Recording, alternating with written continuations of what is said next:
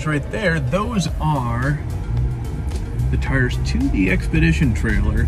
Now, if you haven't picked up Tutor 2, the, that teaser video that I did uh, last week, might have been the week before, so I teased about something else was coming that was really important towards this whole photography trek uh, and adventure series. And well, uh, I'm taking delivery of a expedition trailer that we have custom being, or I'm sorry, being built custom as we speak right now.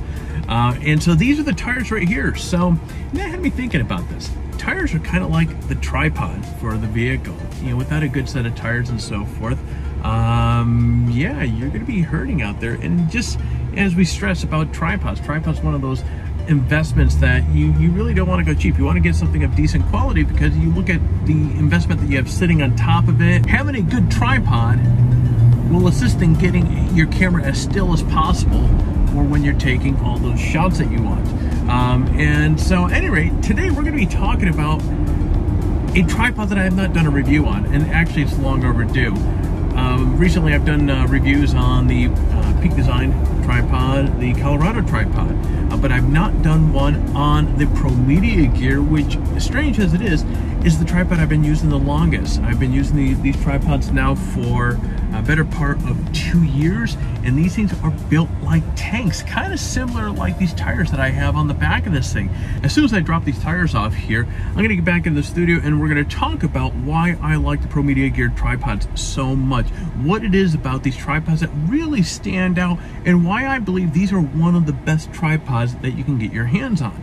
So, I'll see you in a couple minutes. A few moments later. Now, as I've mentioned, I've recently done reviews on tripods from Colorado Tripod Company and Peak Design. Now, I'm going to put a link below to those videos in the description if you want to check those out. But what I haven't done is a review on two tripods that I use very frequently. Actually, I use them the most this one right here, and the tripod that my camera is now sitting on. That is all gonna change today. Now I've used the ProMediaGear TR344 and the TR344L for a couple years actually almost two and a half years now. Now they are my go-to rigs in the studio and out in the field. They definitely have proven their worth over and over and over again. Now I figured it'd be a great time to do a quick kind of long term. Wow, that's a, yeah, again, a two and a half year review on these bad boys because every time I get out and use these, I'm reminded that I haven't done a review and it is way overdue. Plus these things are just so darn awesome. But before we get into this review, I do want to thank each and every one of you for tuning in. If you're new here, please consider hitting that subscribe button down below. I don't want you to miss any of our future reviews or content that we push out. Plus, by subscribing, you get all the updates on our giveaways. We have a new giveaway every single month with some incredible prizes. Actually, speaking of which, in two days, we're going to be announcing the winners from uh, last month's uh, giveaway, and we have some really kick-ass prizes that we're going to be giving away this month.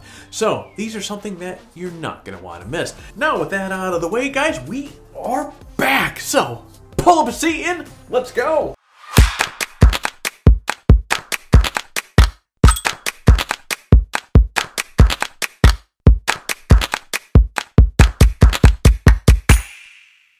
Alright guys, let's get the party going with a quick rundown of some of the basic specs and features of these tripods. Okay, we're talking about carbon fiber leg construction. There's 10 layers of carbon fiber that make these tripods ultra strong and steady. Both of these have four leg sections. The TR344, when fully extended, is 59 inches, and the TR344L Full extended is 71 inches. There are three locking leg angle positions, and you can be sure, now incidentally, here's something really cool as well. When you're out and about and so forth, and you have kind of slippery surfaces, you can be sure that this tripod is going to stay put because each of these legs, look at the size, look at the meat on that, on that spike there. So you have these crazy, uh, hefty spikes that's in the bottom of each of these. So you just kind of pull this out and swap it out and point it the other direction. But yeah, these things are really meant for business.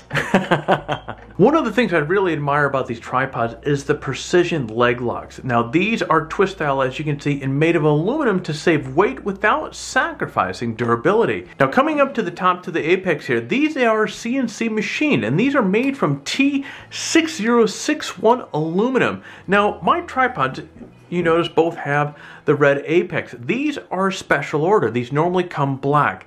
Now the cool part also, these tripods have a 60 pound load capabilities for both of these, which is actually pretty impressive. Now the smaller of the two tripods is the TR344. And of course, as mentioned earlier, this thing fully extended is 59 inches tall. It also has a minimum height of 3.8 inches for those low angle shots that you need to get. The TR344 is obviously the more compact of the two. It has a folded length of 20.8 inches and weighs in at only 4 pounds.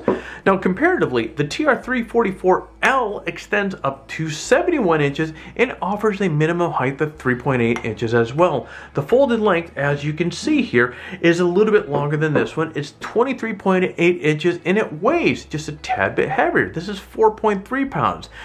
Both of these tripods really mirror one another, except obviously the 344L is slightly larger. Now in both cases, these tripods handle like a dream. Now I know there are smaller and lighter tripods out there, but don't think that just because these tripods are a little bit bigger that they are hard to work with. Because of the design and engineering of these tripods is so spot on, you can use these effortlessly in any kind of photo and video shoot. And I know what you may be thinking, Alex, what is it about these tripods that you really like?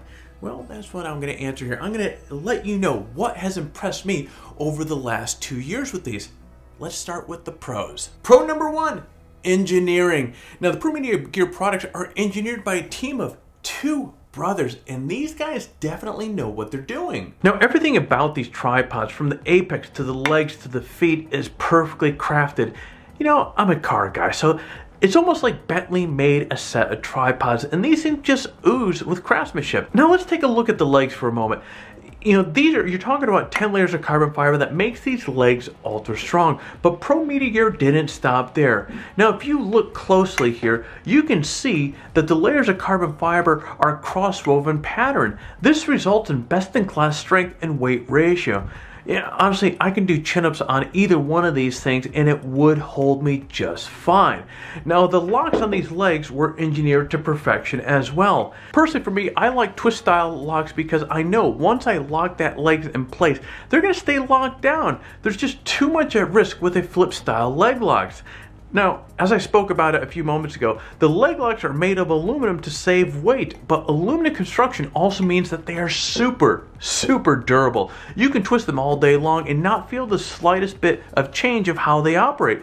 The same holds true with weather. You can be in 100 degree heat or shooting in sub below zero. Example, both of these tripods, I've shot in sub crazy cold ass temperatures up in Norway shooting the Northern Lights.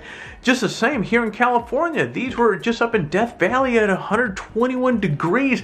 Just oven roasting nastiness and these locks work like a charm in both weather conditions. But I think the best engineering feature of these tripods is the modular apex. I can't find my my stock mount that came to the top of this, so I have my bowl here, but you would normally have the 3 8 16th thread mount on the top. You have, as you can see here, three quarter 20 accessories mount, and of course my spirit level is in one of them right here, but they go around in all all the, the edges there, which is really, really nice. And of course, as you can see there, I do have the optional 75 millimeter bowl system to replace the flat top. The bowl system is so impressive that we need to, you know what, we need to talk about that more in detail. Pro tip number two. Now guys, I have the, let me get this out of the way here.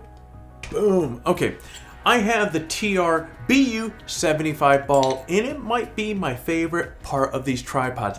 It is, as you can see, it's a half ball, so it sits perfectly inside the bowl of the apex. So the advantage of this is that even if the tripod isn't perfectly level, you can still get the camera perfectly level by adjusting the head. And that means you don't need to fiddle and mess around with the legs at all. And this is a huge advantage. Let me show you what I'm talking about. So as we can see here, this is clearly not straight at all. This thing, if without this leveling head on here or the ball on here, would be forced this way, which means that you need to go fiddling around with the legs. With this, all you do is just simply turn it, and as you can see there, within seconds, it is level there for you. Now the head is easy to use. You just twist the bottom knob to lock it in place and you twist the other direction to unlock it. Something pretty interesting about this as well. This will swivel up to 17 degrees in any given direction, yet doesn't interfere with the built-in level on the tripod, nor does it affect any of the quarter 20 accessory mounts on the side. The head is made of aluminum, so it's not only strong, it's durable, and it's crazy lightweight as well. This thing weighs only 0.52 pounds, but has the load capacity of 100 pounds, which is bonus! Okay, number three, durability. Now, ProMediaGear is based in Illinois, so you have the advantage of using an American-made product that is held to the highest standards of quality. It's hard to go wrong with carbon fiber and CNC machine aluminum parts. Now, I haven't put these tripods through hell by any stretch of the imagination. Well, actually, who am I kidding? I beat the hell out of out of these things. And that's one of the things that you can count on with a quality tripod is and this is what I was talking about a little bit earlier. The inexpensive tripods, you can go out there and they might last a beating once or twice, but then they, because of the inexpensive parts that they use, they start deteriorating relatively fast. With a strong, durable tripod, man, you can get out there and just you don't need to be afraid of putting this through its paces. I've had these in all sorts of environments with dust, sand, salt water, and so forth, and regardless where I go and what I'm doing, these tripods man, these things are always up to the job and they do it very, very well. These are the most durable pieces of gear that I have in my camera bag, and they should be. Now let's talk about the cons. This is not a lip service, but I honestly can't think of anything I would change about these tripods. From a handling standpoint, a design standpoint, an ease of use standpoint, and a durability standpoint, these tripods are about as close to perfect as you can get. I literally have no complaints about these things. Now, some people might bring up that the legs could be a little bit wider. Um, honestly, I've never had a single incident with stability with these things. Some people may point out the price tag of these tripods and say that it is far too much. However, as I've said many, many times in this channel, in my articles on Photography Talk, a tripod is a investment. There's absolutely no point in buying a cheap tripod and keep buying one over and over again to have them keep breaking down on you. Eventually, you've bought so many of them that you could have just bought a good one right from the first place. Like I said earlier, I've had these tripods for about two and a half years, and that's just scratching the surface of what the terms, or in terms of what the lifespan is for something like this. Now I've switched cameras many times. I've switched to making more videos. I've gotten new lenses and lights and other gear. But the constant over the last number of years has been these tripods. Yes, they are expensive and there's no getting around that, but when you think about how many years of service that you're gonna get out of something like this, it is definitely worth the price of admission. Now, which one is right for you? I initially picked the 344L thinking that the height would be good for me since I'm pretty much a tall dude. But I realized the smaller footprint of the TR344 was a better advantage for me because I travel so much. Well, not this year, but that's about to change here in the upcoming weeks. So, if you're into traveling, I'd opt for the 59 inch version. It's 3 inches shorter, and when it's folded down, it weighs about a half pound less, so it's better suited for traveling. But if you're not concerned about the tad bit longer length and the little bit heavier weight of it, guys, the 344L is such a dream to have, and that extra length out in the field really does come handy from time to time. Either way, at the end of the day, either one of these tripods is going to be a rock star for you. I know they have been for me for the last couple years and will continue to be for many, many years to come. Now that you have all the details about what I absolutely love about these tripods, let's switch gears and talk about our current giveaway. Oh, that's right. Our current giveaway is ended, and we're going to be talking about the winners here in the next handful of days. But I will leave you with a teaser here. The next giveaway has some amazing, amazing prizes. So in a couple days, you're going to want to tune in to see what we're giving away. So with that said, if you found some value with this video, if you enjoyed this video, hit the like button down below. If you are currently not subscribed to the channel, please, we would love to have you part of this family. So consider hitting the subscribe button while you're at it. Hit that bell to be notified each time that we come out with a new video. All right, friends, I have a new desk that just arrived, so I'm to start tearing down this one here and start building the new one. You get out there, have a amazing weekend, and create your best shot.